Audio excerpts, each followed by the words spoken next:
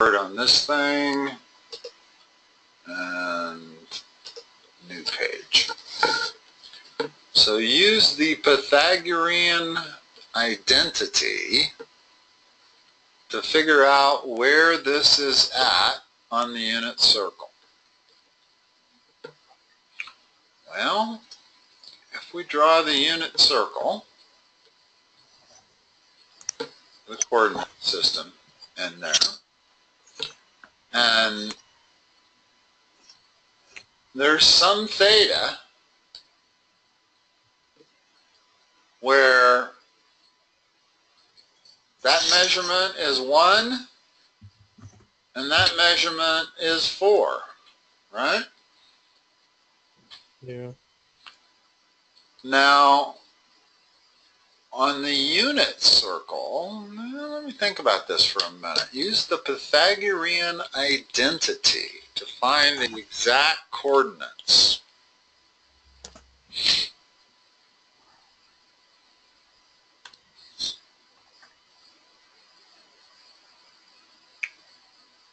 Well, let's see here.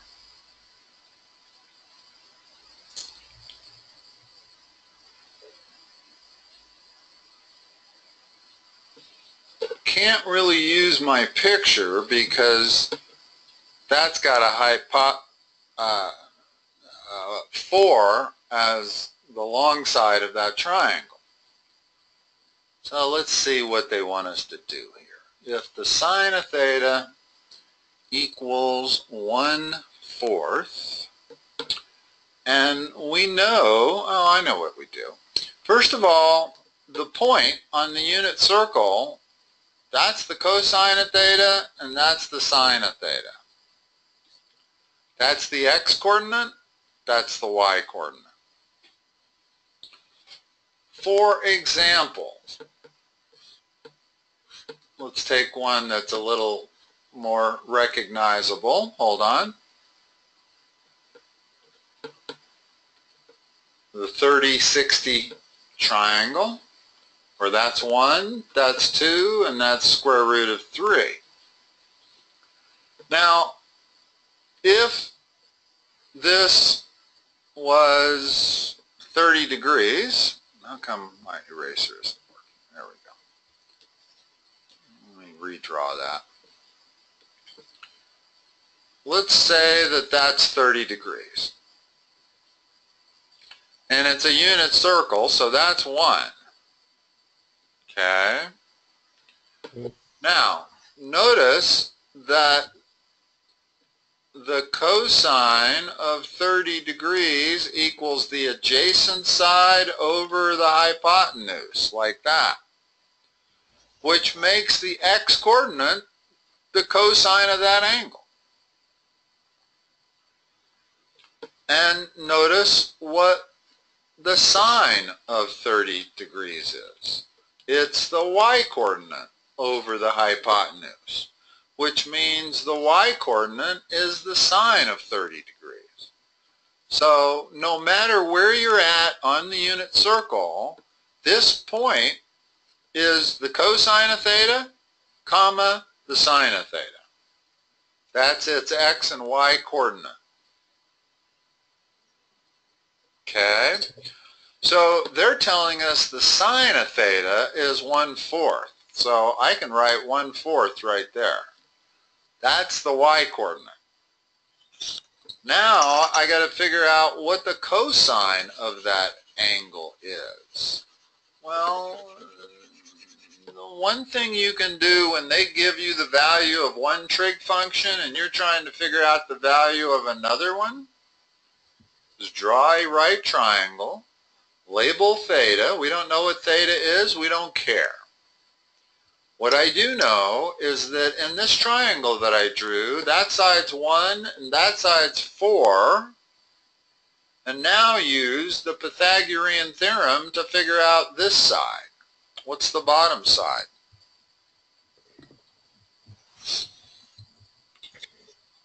I don't know. Well, the Pythagorean theorem, the hypotenuse squared equals the sum of the other two sides squared. So if I'm trying to solve for side, I'm not going to call it x because that'll be confusing. If I'm trying to solve for this bottom side here, we'll call it z, well, I know that the sine of theta is 1 over 4, and the cosine of theta is z over 4. But I, I can solve for z. In other words, whenever you have a right triangle and you know two sides, you can always solve for the third side. This is the square root of 4 squared minus 1 squared, or square root of 15. So that's that bottom side. Now, tell me what the cosine of theta is.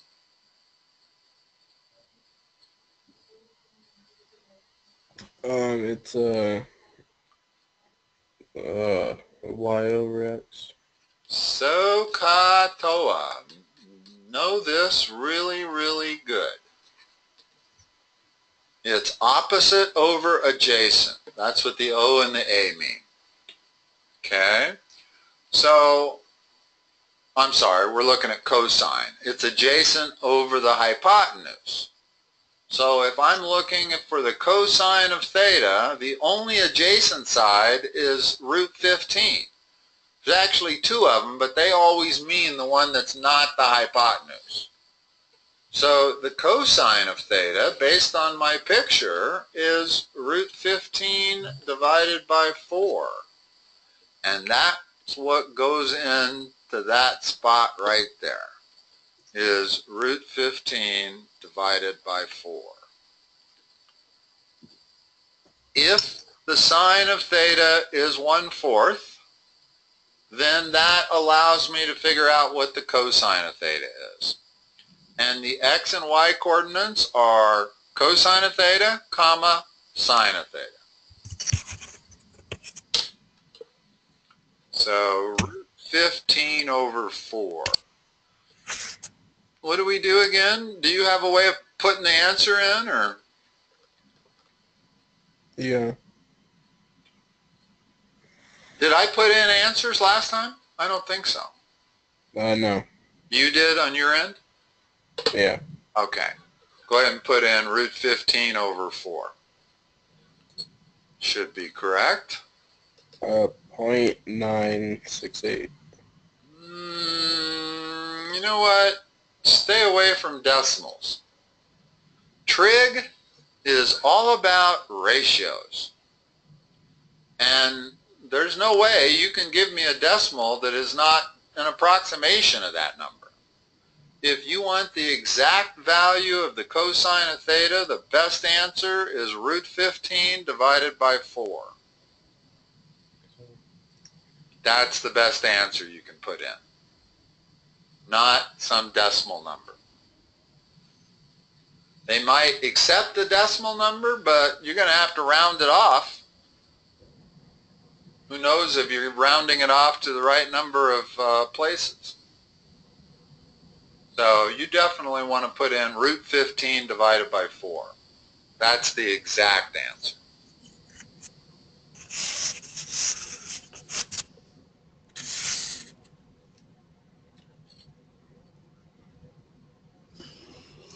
Okay. Let's look at point P. Remember what I said the coordinates were? What are the coordinates going to be? The x and y coordinates? The x is going to be what? Cosine. Cosine of 50 degrees. That's the x coordinate. Comma. What's the y coordinate? Uh, sine of fifty. Okay. So they may want a number on this. They may just accept cosine of 50, comma, sine of 50.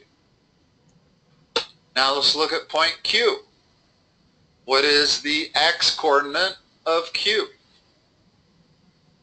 Uh, cosine of one ten. And the y coordinate? Uh, sine of one ten. Yeah, and like I said, they may accept that as an answer or they may make you look that up on your calculator and put in the number. But the key thing they're trying to get across here is that on the unit circle, every point on the circumference, the x-coordinate is the cosine of that angle, the y-coordinate is the sine of that angle.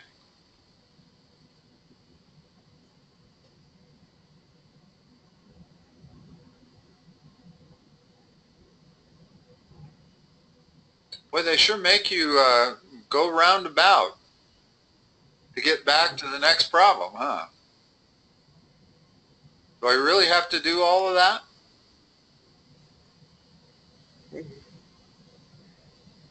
Yeah, I think so. Here, let me uh, see if I can draw this picture. The measurement of ROS is 60 degrees. Okay.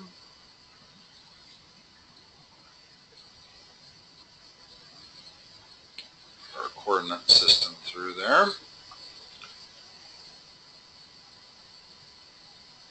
That's R. And they're saying that is 60 degrees with S being, notice they've drawn the little triangle for us. Okay. Mm-hmm. So the curved arrow represents the rotation of the ray OR. In other words, they're saying that the ray OR is achieved by making that angle. What is that angle that I just drew? Uh, 60 degrees. Mm, 60 degrees if I measure it clockwise from the right. In other words, Um, all angles are measured clockwise are negative angles, counterclockwise are positive angles. So in reality, this is a negative 60 degree angle, technically speaking. But to get the positive angle, measuring it counterclockwise, well, what is it in the first quadrant? How far is that? 90, How far around one second quadrant? 180, Third quadrant? 270, What's this extra little angle here? plus 30. So that's a 300 degree angle. And that's the answer to A. OR has rotated 300 degrees. Now, are you still uh, exclusively in degrees or a mixture of radians and some degrees or what? Well, I think a mixture. Okay, so you know about radians. Mm, Sure. Okay. Part B, if OR equals 1, making it a unit circle, what are the exact length of OS and SR?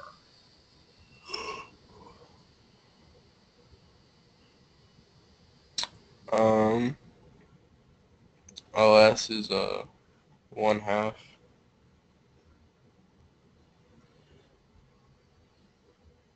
And then SR is negative. Hold on. Uh, you might be right. I was thinking about this for a minute.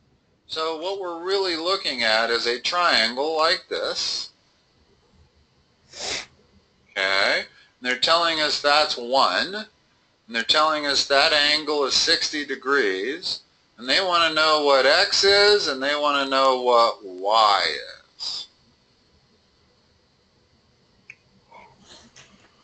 Well, what can I say?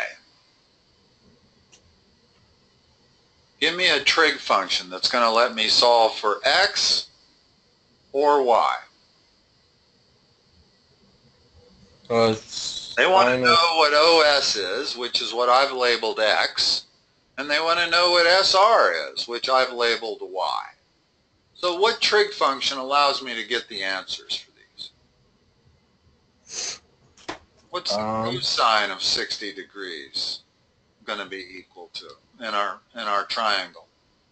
Uh, Y? Cosine is the adjacent side over the hypotenuse. Do you see why x is the adjacent side to 60 degrees? Yeah. Okay. So the cosine of 60 degrees is x over 1, or just x. And what is the cosine of 60 degrees? It's 1 half. You correctly got that. That calculator would tell you that also. So this side is 1 half. And now to figure out y, well, that's the sine of 60 degrees equals y over 1. And the sine of 60 degrees is root 3 over 2. Again, do not turn that into a decimal. Root 3 over 2 is one of your most common answers in trig. Come, it's a lot because of this 30-60 triangle. Root 3 is one of the sides. So that distance from S to R is root 3 over 2. Okay. What are the exact coordinates of point R? Here's point R right here. Okay. Um, it's uh one half comma negative square root of three divided by two. Okay, 1 half is the x-coordinate for sure. The y-coordinate is it plus or minus square root of 3 over 2? Plus or minus? Minus. If you look at the picture, we can see it's in negative territory. Well, why is it minus? Well, how do we get that for the coordinates of r? Remember what the x-coordinate is? It's the cosine of theta. And the y-coordinate is the sine of theta. Well, in the fourth quadrant, the cosine of theta is positive. So it's just the cosine of 60 degrees, positive 1 half. Excuse me, it's not really 60 degrees, it's 300 degrees. Notice that's why they went through this demonstration to say that the ray OR is a 300 degree rotation. Because what I'm really going to do to figure out the coordinates of point R is I'm going to call it the cosine of 300 degrees, comma, the sine of 300 degrees. And the sine is negative in the fourth quadrant. So if you go into your calculator and you say the sine of 300 degrees, you'll get negative root 3 over 2. Okay? So all of these points on the circumference of the unit circle are all cosine of theta, comma, sine of theta, but we need the positive angle, not the negative angle. I can use the negative angle and say if the cosine of minus 60 degrees, comma, the sine of minus 60 degrees, that gives us the same answer. It's still 1 half, comma, minus root 3 over 2. So I don't necessarily have to use my positive angle. I could use my negative angle just as easily.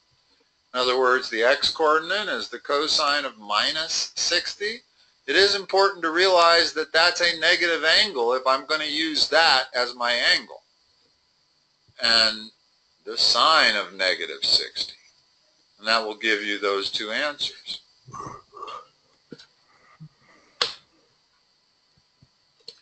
Now, to get to 756, is there nothing I can do but go backwards and backwards twice? Um, Usually, you should be able to press the show I don't, see a, uh, I don't see an arrow for the next problem. Oh, I see. Here, I can do this. That's what the fastest way to get to the next one is. Okay, that's just a two-click step. All right.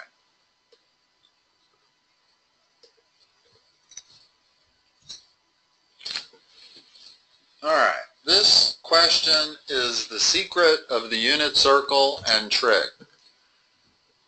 I'm presuming that somebody has told you you are going to have to remember the unit circle, all 16 points on it. Correct? Uh, usually it's, uh, we kind of just memorize like 30, 45, and 60. That's and- right. That's 16 points. Yeah.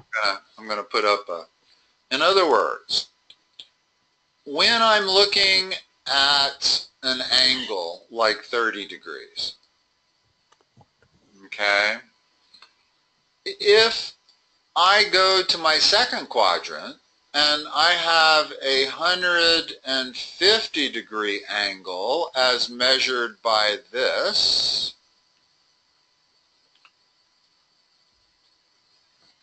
it creates this same reference triangle as my first one does. And that's 30 degrees, right? In other words, it's got to be supplementary. Mm-hmm. Well, their question is, what angle in the first quadrant could you use if you were given an angle of, say, 150 degrees? That would be the equivalent of a 30 degree first quadrant angle. Here's the way it works. Whatever the reference angle is, in other words, let's take a ray that's like this, where that is 225. Okay? When they say, what is the first quadrant, what angle would help you solve this, they're asking you about this angle right there. Well, what is that angle? If it's 180 degrees to get to there, what is theta? Uh, 45. Aha. And so you end up with some key formulas that you want to memorize. In this quadrant, it's a 180 minus theta gives you your equivalent first quadrant angle. In this third quadrant, it's theta minus 180. And in the fourth quadrant, it's 360 minus theta. So is all you do to answer A is that's fourth quadrant, right? Mm-hmm. 330 is fourth quadrant. Well, substitute it for that, and our equivalent first quadrant angle is what? 30. Okay, good. Now the next one, 120. What quadrant is that in? Uh, second. What is its equivalent first quadrant angle? Uh, 60. And 113. That's in the second quadrant. What's its equivalent? Um, 67. And finally, 203, which quadrant is that in, and what is it its equivalent angle? Uh, 23. Yeah. And you get all of those by these three formulas. So here's the kicker. They make they may want you to memorize the 16 slots on the unit circle, and they do. but you really only have to memorize the 30, the 45, and the 60. Because every other angle can be referenced by a first quadrant angle. In other words, if I give you 330, you're not going to do your trig based on 330. You're going to do your trig based on 30. Whatever the answers for 30 for sine and cosine are, that's what your absolute value is going to be. And then you put a plus or minus sign based on which quadrant it's in. Have you seen all students take calculus? No. What that means is that in the first quadrant, all trig functions are positive. In the second quadrant, only sine is positive. And of course, it's reciprocal. So there really should be n cosecant. The t stands for tangent.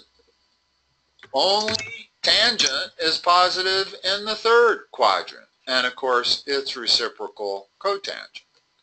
And in the fourth quadrant, C stands for cosine. It's the only positive trig along with secant. Okay?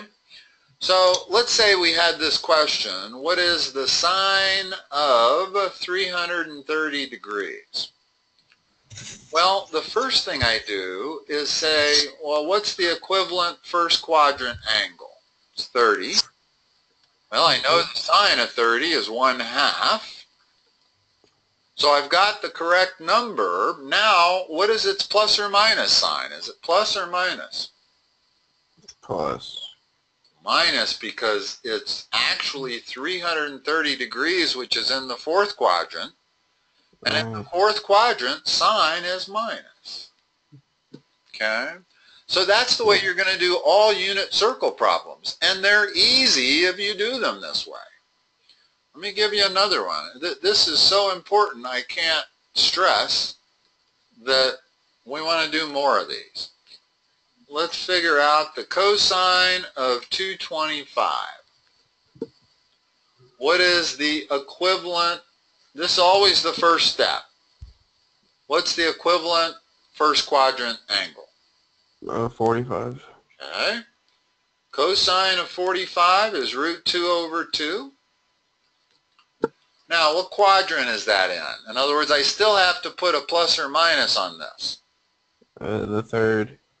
Is cosine plus or minus in the third? Minus. That's what I do. That's exactly the way I solve every single question I'm going to get. And trust me, you're going to get a lot of these. You're going to get sines, cosines, tangents of all the multiples of 30, 45, and 60 degrees. Okay? Now, Mm. I, the one thing I didn't cover was the quadrangles. Okay? The quadrangles being 0 degrees, 90 degrees, 180 degrees, and 270 degrees. Remember what the coordinates of this is. Cosine of theta, comma, sine of theta. Well, on the unit circle, what are the actual coordinates of that? Zero, one. It's 1, 0, Oh, yeah. right? So Yeah. that tells you what the cosine of 0 degrees is. It's 1. And it tells you the sine of 0 degrees is 0. Now let's go up to this point. What are the coordinates on that point? One, zero. And that's 90 degrees. Tell me what the cosine of 90 degrees is. Oops, we got them backwards. It's not 1, 0. It's Oh, 0, zero. 1. Right? The x-coordinate is 0. The y-coordinate is 1. So what's the cosine of 0? Um, Uh, not 0, 90. uh, zero. What's the sine of 90? One. Okay. Now let's look at 180 degree. Another quadrangle. You know what I mean by quadrangle? Uh-huh. Multiples of 90. Okay. What are the x and y coordinates on this point? Um, negative one, zero. So tell me what the cosine of 180 degrees is. Negative one. What's the sine of 180 degrees? Zero. That's what we're going to do all the way around. Coordinates on that point are 0, comma, negative 1, and that's 270 degrees. So what's the cosine of 270? Zero. And the sine of 270? Negative one. There you go. You have all your quadrangles now. And this is a good way to memorize because you always know what that point is right there. That point is 1 comma 0. and this point is 0 comma 1, and this point is minus 1 comma 0. So as long as you know that the first coordinate, the x coordinate, is cosine of theta, and the second coordinate is sine of theta, then this answers all your quadrangles. Now, once you know your quadrangles and your multiples of 30 and 45, there's your 16 points. I want you to memorize that point for 30 degrees. I want you to memorize this point for 45 degrees. And they want you to memorize this point for 60 degrees. They want you to memorize that point for 90 degrees all the way around the circle. So there's 1, 2, 3, 4 times 4. That's where I get 16. In other words, here's the unit circle as drawn by them. And a lot of trig classes will just give you this thing and say memorize it. And memorize every point. Well, cosine of 30 degrees is square root of 3 over 2. Sine of 30 degrees is 1 half. So that's my point on the unit circle. 45 degrees is root 2 over 2, comma, root 2 over 2. Now, like I said, the easiest way to memorize the other 12 points is to memorize the first quadrant only in other words, know what your sine and cosine of 30, 45, and 60 degrees are. And then every other angle that might be in the second, third, or fourth quadrant can be put in terms of a first quadrant angle. So you can figure out what the numbers are and then using a all students take calculus I can put the correct plus or minus sign on it. And that's the way you're going to do all of them. Let's do one more. Tangent of 225. What's its equivalent angle? Let's write it like this so there's no confusion. Uh, tangent 45. Okay. What is the tangent of 45 equal to? Uh, Just one. Now it's in the third quadrant. What is its plus or minus sign? Plus. That's the tangent of 225. It's exactly the same as the tangent of 45. It's 1. Okay? So this is a very valuable lesson that we're doing today because it is going to solve the biggest problem in trig for you or for anybody and that is how to answer a series of problems like uh, sine of 120, what's the cosine of 150, what's the tangent of um, 210, what's the uh, sine of 300. You should be able to do every one of these now. Okay? In other words, the fact that none of these angles are in the first quadrant does not matter. Tell me what the equivalent first quadrant angle is for that one. Um, 30 or 60. It's 180 minus 120, so it's 60. And what's the sine of 60 equal to? Uh, one. Here's two triangles that will always answer all of your first quadrant answers. It's the two triangles they've been teaching you for three years. What you need to memorize are these dimensions outside the triangles. That one is 30, 60. This one is 45, 45. That's 1, that's 1, that's square root of 2. Now, between those two triangles, you can figure out sine, co all six trig functions of 30, 45, and 60 degrees. Right? Yeah. What's the sine of 45 degrees? You need to remember Um, SOH CAH TOA. That also is huge. Some of these things you just cannot get by without memorizing. That's one of them. These two triangles are another one. So what's the sine of 45 degrees? uh, square root of 2. No, divided by 2. Okay. And it's even permissible to say 1 over square root of 2.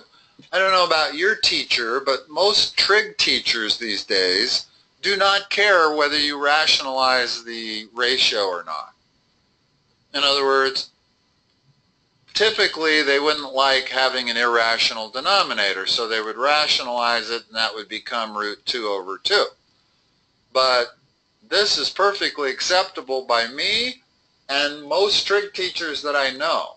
And so this triangle over here, the answer really is 1 over root 2, directly from the triangle. You chose to rationalize it, which is fine. I got no problem with root 2 over 2 is the same number. But notice how any 30, 45, or 60 degree angle, you can figure out all six trig functions. Okay, so now go back up here to the first problem I got, sine of 60. What's that equal to? Um, it's a square root of 3 over 1. Over 2. It's always Uh, over over the hypotenuse if it's sine and cosine. So it's square root of 3 over 2. Now, what is its plus or minus sign? And this is the exact step that I recommend you do it. This is the same sequence that I always use. I figure out what its first quadrant angle is, I figure out what its absolute value is, and then I attach the plus or minus sign as the last step. Well, what quadrant are we in? 2 Is sine plus or minus in quadrant 2? plus Let's go to the next problem. What's that equivalent first quadrant angle? 30. What's the cosine of 30? Look at our triangle over here.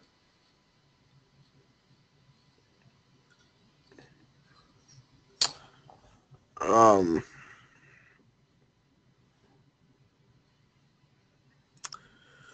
square root of uh, 3 divided by 2. Correct? That's no accident. The sine of 60 is always going to be the sine, the same as the cosine of 90 degrees minus that angle. So the fact that the sine of 60 is the same number as the cosine of 30, it always is. However, what's the plus or minus sign? Because we're dealing with cosine in which quadrant? The second, So what's its plus or minus sign? negative Okay, the next one. What's its equivalent angle? 30. What's the tangent of 30? Um, Don't, don't rationalize it. Just, just read it straight off of that triangle. Remember, tangent is opposite over adjacent. it's a 1 over the square root of 3. Okay? What quadrant are we in? The third, What's tangent in the third? Positive. The next one. What's the equivalent first quadrant angle? 60. Sine of 60, we already know, is square root of 3 over 2. Is it a plus or a minus? Um, minus. because it's sine in the fourth quadrant. And finally, that one's the same as the tangent of 30. We know the tangent of 30 is 1 over square root 3, plus or minus. Uh, minus. You got it. I think you know how to do the entire unit circle. You should. You have enough information that we've gone over today for you to place all 16 spots. Remember the x-coordinate is the cosine of theta, the y-coordinate is the sine of theta. That's all you need to do to fill out those 16 spots. So you just memorized your unit circle. Notice the difference between the way the school tells you to memorize it. They give you a circle with 16 slots on it and they say memorize this. Whereas the way I have asked you to memorize it is I say memorize these two triangles. Well, that triangle only has three pieces of information. This triangle only has three pieces of information. That 180 minus theta and theta minus 180 and 360 minus theta, that's three pieces of information only. All students take calculus is four pieces of information. In other words, by memorizing these groups of three or four pieces of information allows you to extend it so that you can fill out a unit circle that has 16 slots on it. It's similar to if I gave you a credit card, a 16-digit credit card number, no way are you memorizing that as 16 consecutive digits, right? Yeah. You're going to break it up into four digits. You're going to memorize the first four, then you're going to memorize the next four, and then so forth and so on. So the human brain does not handle quantities greater than about seven. Uh, that's why phone numbers originally came out as seven digits, is because psychologists knew that people could memorize a seven-digit number.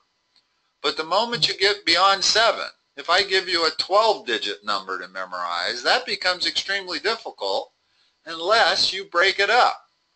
If you break it up into three groups of four, not so hard to memorize.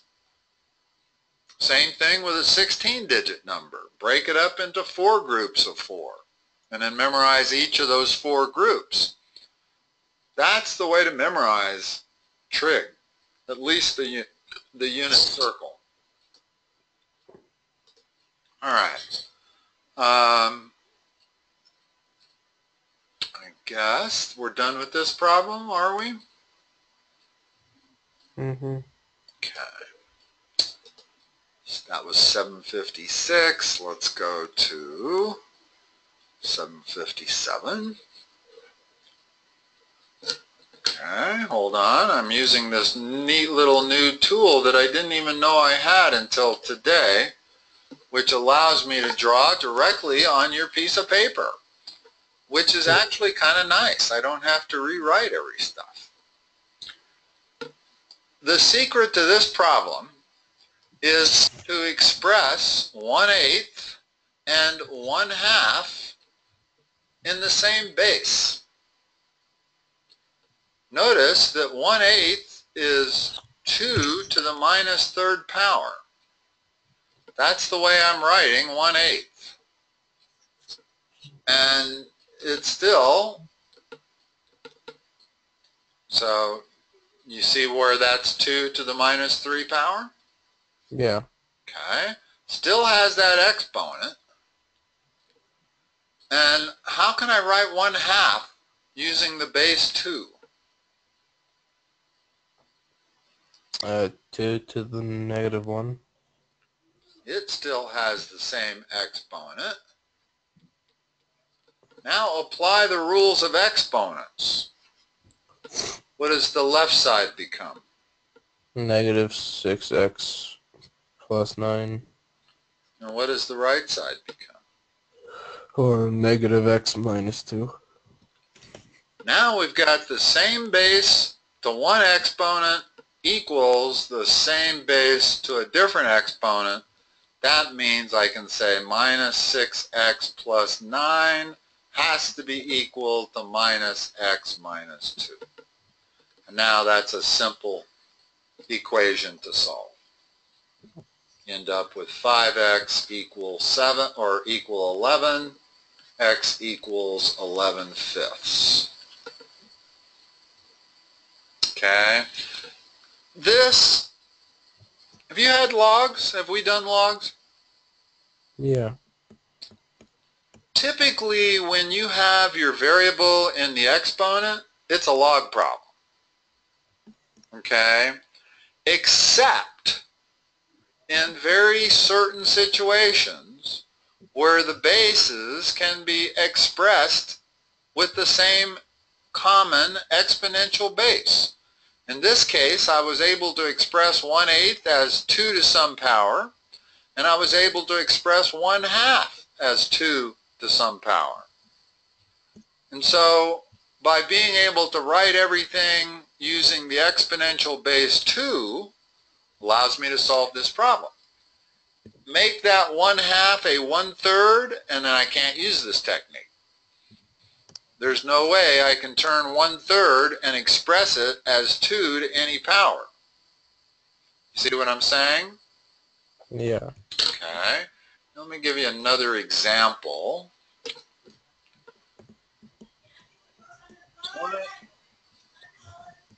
Hold on a second. Got to remember to pull it up before I can write on it let's say 9 to the x power equals 27 to the 3x minus 1. Now, this looks like a log problem, right? I'd take the natural log of both sides, and then I could bring the x down in front, and I could bring the 3x minus 1 down in front. But this fits that case where I can express both 9 and 27 as their common exponential base. What is their common exponential base? Uh, 3. Okay, so how do I write the left side of the equation? 3 to the power of 3 times 3 squared. Very first oh, yeah. thing to do is to write 9 as a power of 3. And always put it in parentheses. The parentheses are very important there. And I'll get to that in a second. How can I write 27? 3 to the power of 3. Uh, Parentheses. To the power of 3x minus 1. Right. Now use your rules of exponents. What do you get? 2x equals um, 9x minus 3. Now you got the same bases. You can equate the exponents. So the last thing is 2x equals 9x minus minus. Okay? Uh-huh. Now, let me show you something interesting. Why the parentheses are so important here. What do you suppose the difference between these two numbers is? Have I showed you this before? I think so. Pretty interesting, actually. Very interesting. If I do not have parentheses, then I have to start from the top down. In other words, I do that part first, which is 4, then I take 2 to the fourth power, which is 16. Okay? Okay. Now when I look at the 3's, I got to do that part first. So this becomes 3 to the 27th power, which is 7 trillion. So 7 with 12 zeros behind it.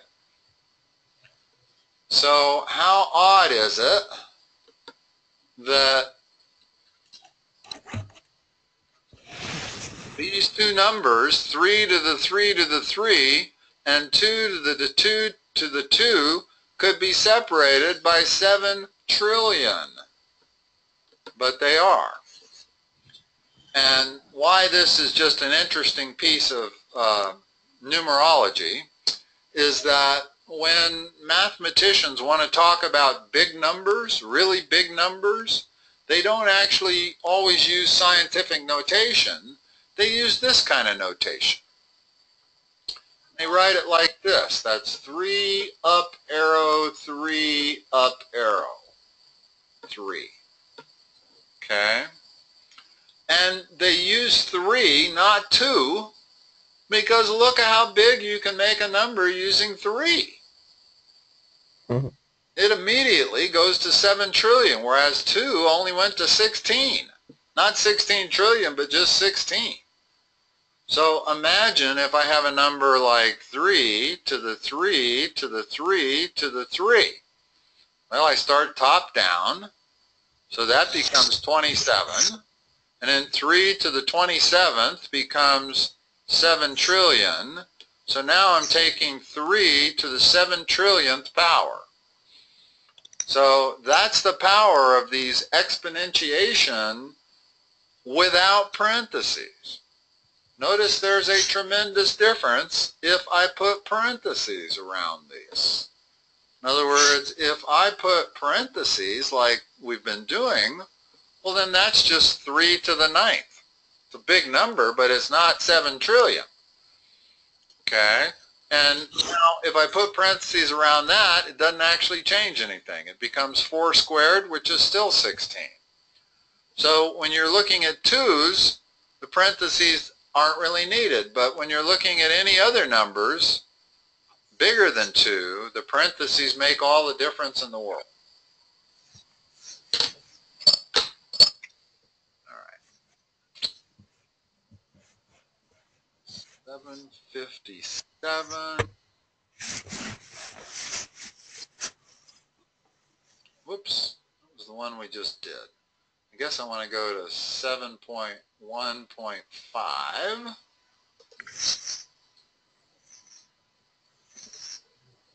Let's see if we can get one more problem done.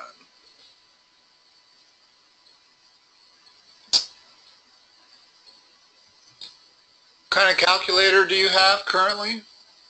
84. Okay. Do you know how to put it in degree mode or radian mode? Yeah. You sure? Yeah. Okay. Let me pull mine out.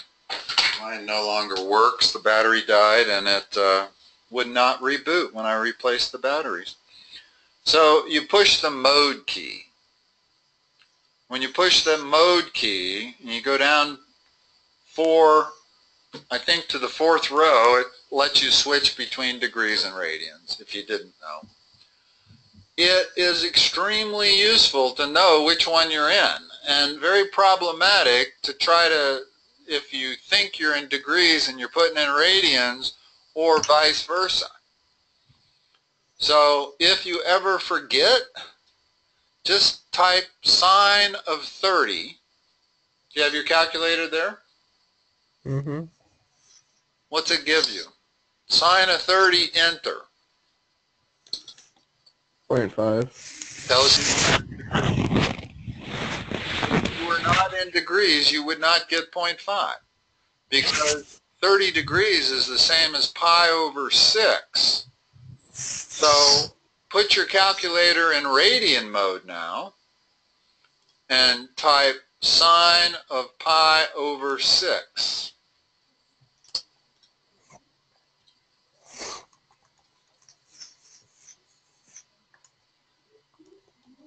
Point five. Got the same answer. So as long as you know what you're in, degrees or radians, then you're fine. Um, most all mistakes that can be made are made because a person thinks he's in degrees and he's actually in radians or vice versa. So make sure you know what you're in. Um, the Nspire tells you. I don't think the TI-84 tells you, does it? It doesn't say degrees or radians, or does it? Maybe it does. No. No, I didn't think it did.